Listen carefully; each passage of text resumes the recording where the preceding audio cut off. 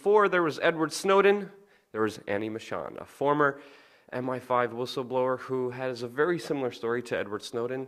Uh, she was working for British intelligence and then went on the run and exposed a lot of important things, including the very fact um, that uh, Br the British government, especially MI6, was hiring Al Qaeda to overthrow um, an elected leader. Uh, also, the fact that uh, the, uh, the, government knew about the IRA bombings and didn't prevent them, and also the fact that the British government was wiretapping and spying on people uh, illegally as well. Now, Annie, you have uncovered a lot. You went on the run after exposing a lot of important things that the public should have known. But to you yourself, what is the most important thing that uh, you blew the whistle on? Well, the reason that I and my former partner, David Shayler, quit um, MI5 and decided to go public was what became known as the Gaddafi assassination plot. Now, this was something we saw towards the end of our time in MI5. This was in the mid-1990s. And David, at that point, was the head of the Libyan subsection in MI5. And he was officially briefed by his counterpart in MI6, whose James Bond number was not 007, it was PT16B. And um, this was a plot where MI6 had been approached by a Libyan military intelligence officer who was then codenamed Tunworth. Um, and he asked for help. He basically said, can you provide some money to actually um, help us carry out a, a coup to get rid of Gaddafi, assassinate Gaddafi. And MI6 jumped at this. And they jumped at it for two reasons. One, at that point, they were desperate to get their hands on the two suspects from Libya who um, were wanted on charges of blowing up the Lockerbie plane, the Pan Am 103, uh, which came down over Scotland in 1988. And also, they were very, very keen as well to re-establish relations with the uh, Libyan oil companies, with BP. So they jumped at this whole thing. And they started pushing money towards Tunworth. And he went out and, with a bunch of what he called ragtag Islamic extremists, who were Afghan veterans, Al Qaeda by any other name, um, they went ahead and tried to carry out this assassination plot. So, what happened is uh, Gaddafi was driving back from a People's Congress in Sirte towards Tripoli, and an explosion occurred under one of the cars in his cavalcade in early 1996. And uh, he obviously survived to be assassinated another day in 2011 by the very same CIA and MI6 backed groups, by the way. Um, but innocent people died, both yeah. in the car and in the ensuing security shootout. Yeah. So we couldn't think of anything more heinous at that point because you have a situation where the spies are running rogue. They were not obeying British law to get the prior written permission of their political master, the Foreign Secretary, in order to carry out this operation legally under the terms of the Intelligence, uh, Intelligence uh, Services Act and it had killed innocent people. Yeah. And it's, it's an extreme story, and just to just bring everything together, the British MI6 government, without approval from higher ups, decided to kill a political leader of a country because of many interests, one of them corporate interests with British Petroleum, and uh, they did this uh, in an attempt to pretty much overthrow a government. And, and this is just an insane, insane story. And, and, and I mean, there's other aspects of the story that probably affected you. Uh, obviously, the innocent people that were also killed uh, in, this, in this assassination attempt also must have bothered you a lot. But from the process from there, I mean, you knew about everything that was happening. Um, you decided to go on the run. Can you tell us more details about uh, just what happened and what you went through?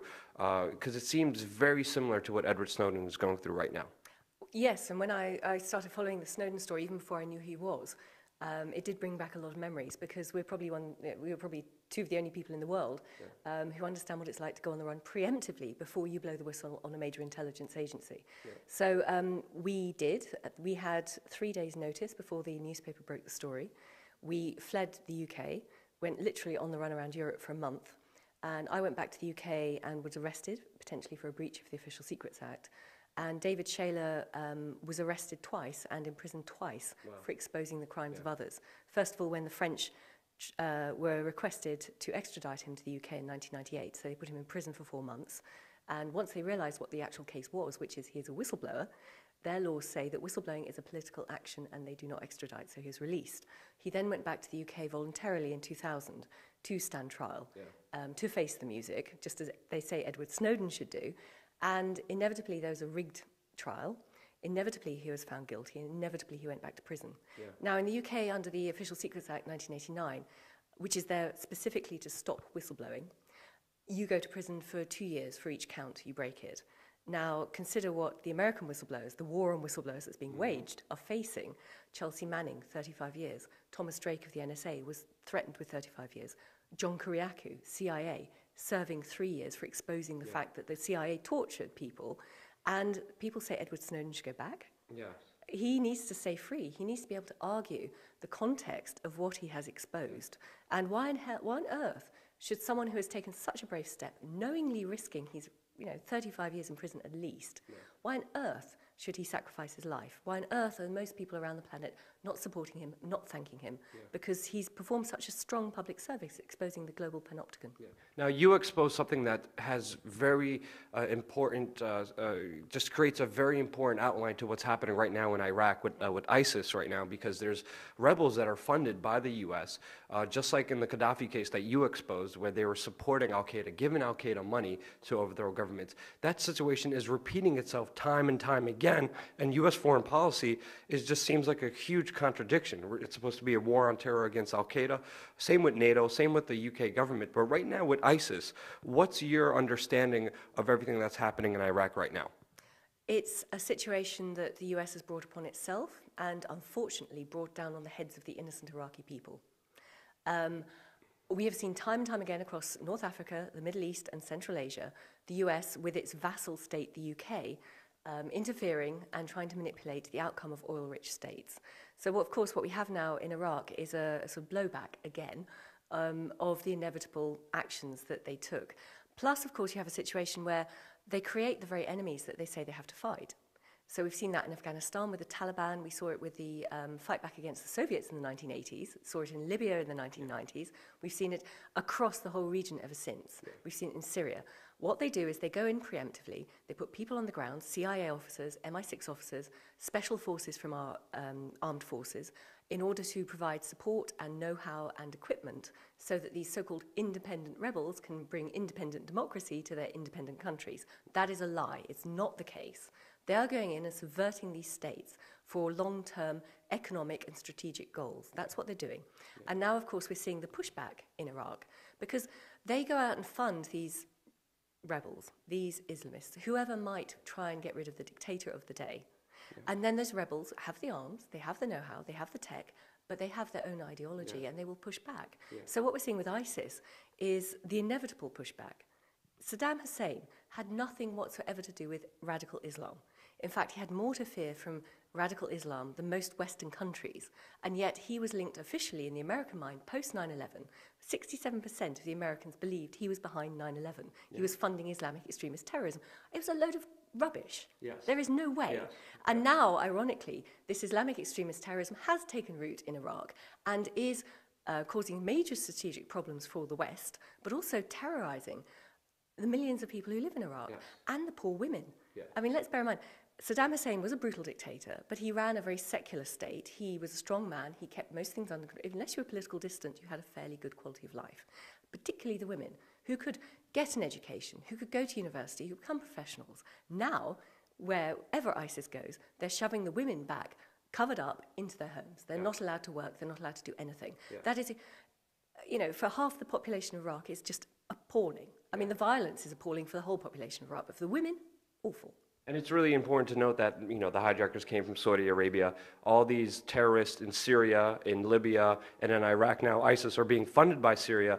And then you know the U.S. and NATO and Western powers backed the Syrian rebels to take over Assad, but they're backing Al Qaeda. They lost. Assad won the election again, and now you know the, these rebels have nowhere to go. They go into Iraq, and now they're destroying everything again. It seems like it's just a big continual business market for the military-industrial complex, fooling us, saying that we're fighting the war on terror for freedom. Meanwhile, we're propping up both sides of the circle, which you exposed way before even everything was, was happening as it is now. But now it's happening on an extreme level. So, you know, where do you see this going? And, and can you talk about this cycle that's happening right now with U.S. funding both sides, Al Qaeda and supposedly the people fighting against it? Can, can, can you describe that? It's the perfect business model, and yeah. the Americans have been very, very clever about this. I would go further back, though. Um, the sort of areas that I now talk about are the, I call it my four wars, the war on drugs, the war on terror, the war on the internet, and the war on whistleblowers. And they're all interconnected.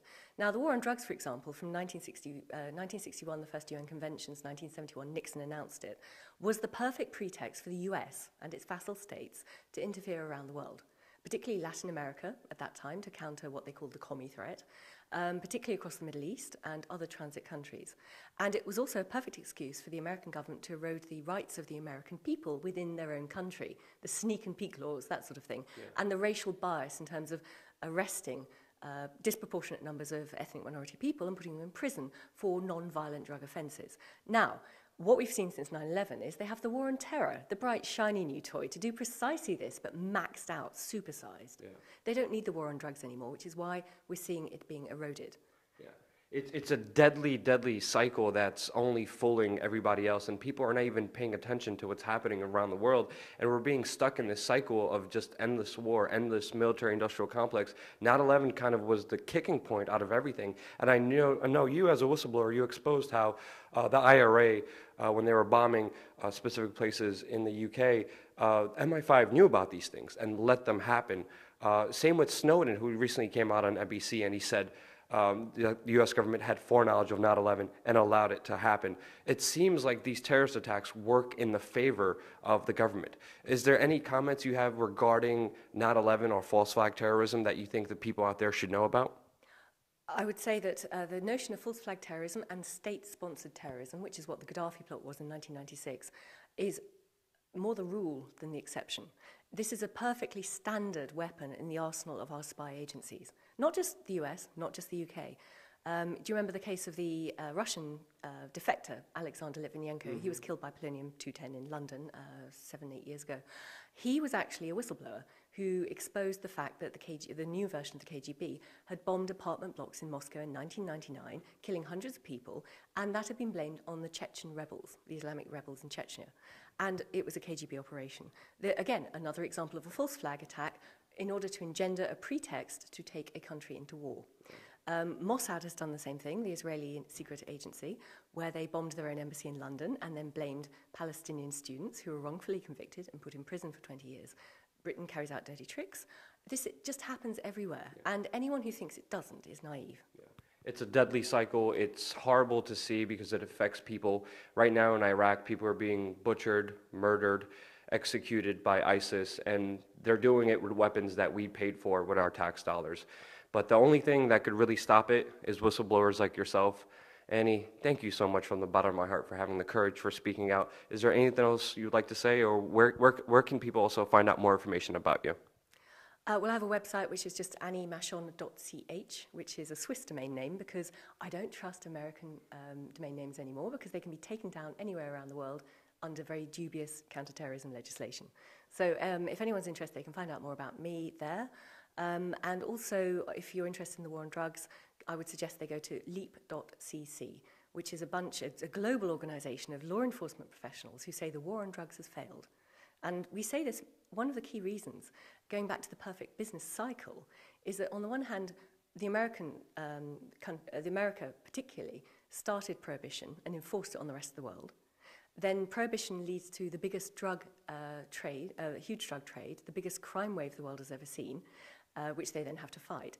But one thing that most people don't know is that most of the recognized terrorist groups around the world are funded by the drug trade, particularly in Libya, which has fallen into anarchy and is riddled with drugs, is one of the biggest transit countries now from Latin America into Europe, which didn't happen in Gaddafi's day. So by um, enforcing prohibition, by creating this illegal drug trade, we're actually funding our terrorist enemies.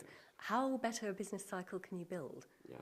between these different wars. And they all interconnected with each other, especially with the situation in Afghanistan with the growing opium population.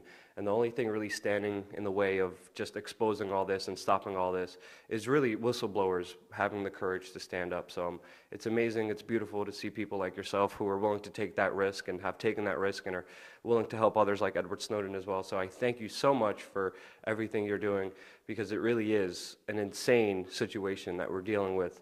And the only thing that could really stop it is brave people who are willing to speak out. So don't ever be afraid to use your voice. Now, there's a lot of conversations, there's a lot of attention in the mainstream media about Israel, a lot of attention with ISIS and Iraq, but there's not a lot of attention with Libya. And there's a lot of things happening right now that not a lot of people know about. Now, Annie, uh, with your experience in Libya, uh, with you having uh, a lot of uh, knowledge of the region, with you whistleblowing specific things about the region, what's happening there and why is it happening? Well, I think the best way to summarize it is that it's a goddamn clusterfuck. We have a situation where an entire country has been destabilized, where whole populations are being um, terrorized, and where we've seen the rise of Islamic fundamentalism, um, which manifests in different competing militias, which are now fighting each other. And in fact, what's going on this week, it's been completely overshadowed with events in Ukraine and events in Syria and events in Gaza. But what's going on this week is a major battle being waged over control of the Tripoli airport, where planes are being bombed on the tarmac and things. Um, and across the whole country, different regions, different militias are going out and being vigilantes and creating mayhem and killing people and raping women and everything. So the whole country's been destabilized since the fall of Gaddafi.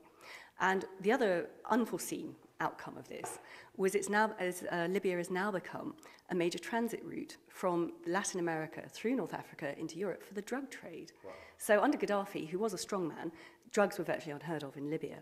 Now, Libya has become a narco state, and these militias are controlling that trade, which is bad enough.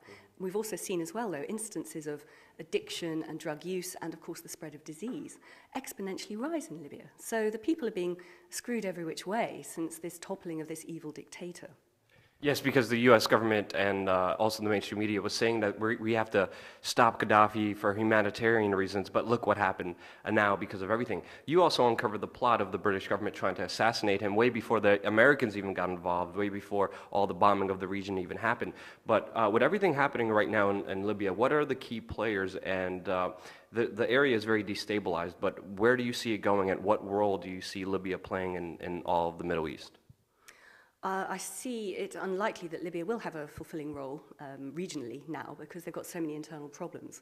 However, what we are seeing is that because of this destabilization, it's become a melting pot for future generations of potential terrorists, jihadis, who might want to push back. Now, this, of course, means that people who went to fight in Libya during the overthrow of Gaddafi are now, uh, the authorities in, the, in Europe, for example, are worried that they might go back to their home countries and wreak more terror. Now, I think it's fairly unlikely because most of them have moved on to Syria. Yeah.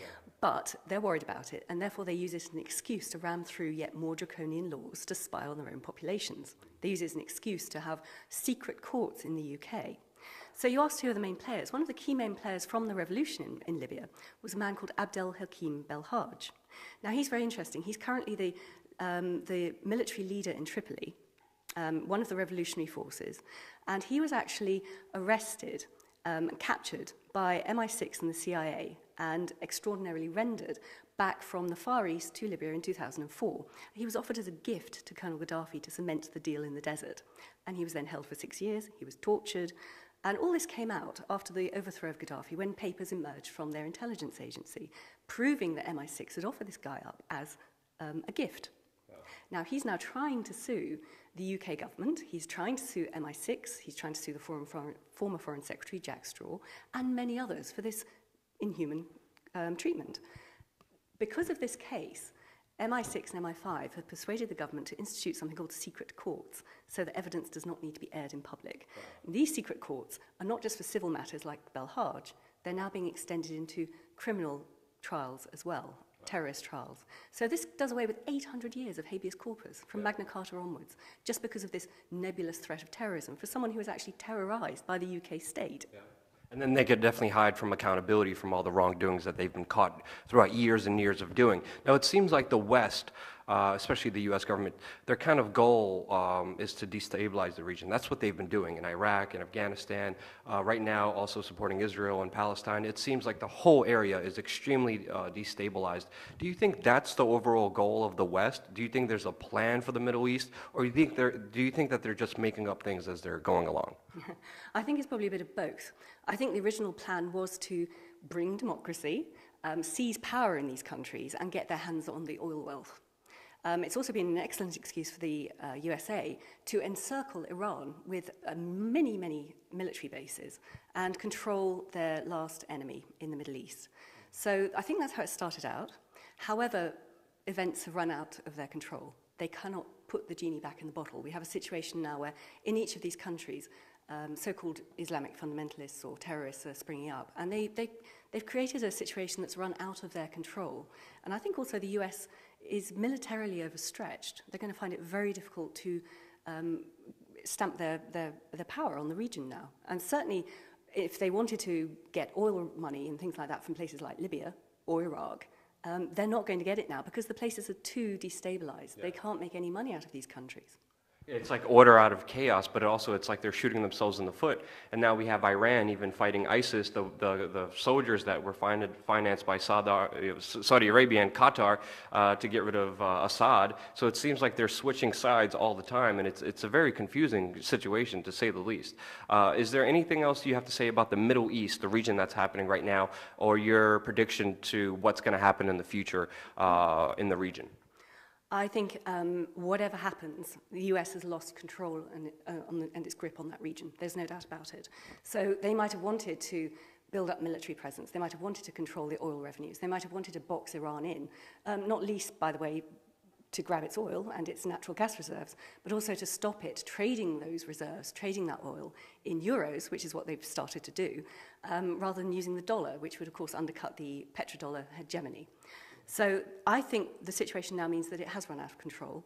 The US can't get it back. And they've also set the seeds for a whole region which can breed a new generation of freedom fighters, terrorists, whatever you want to call them.